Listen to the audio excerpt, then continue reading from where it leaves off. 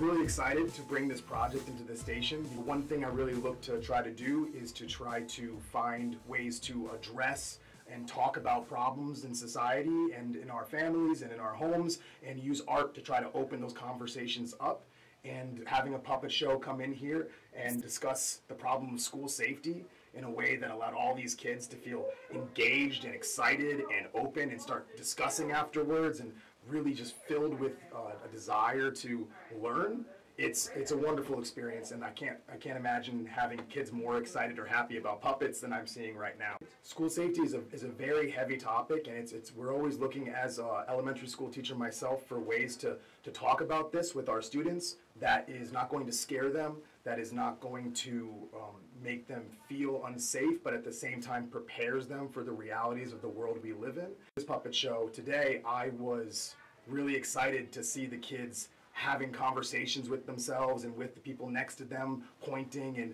and talking about what was going on, and really just digesting the material in a way where it wasn't here is what you need to do and here is the problem that you need to be um, concerned about, but it was presenting it in a story form where they just went on a journey with the superheroes in the academy and they were able to take the lessons about being prepared and about um, making decisions in those moments that they were able to talk about afterwards, but at the same time, they were just watching a puppet show. So instead of it feeling like they were being given a lesson, it felt like they were being given an experience with a lesson tucked inside of it. You know, it's, it's always good to hide the medicine inside of something tasty, and there's nothing tastier than a puppet show for a five-year-old kid.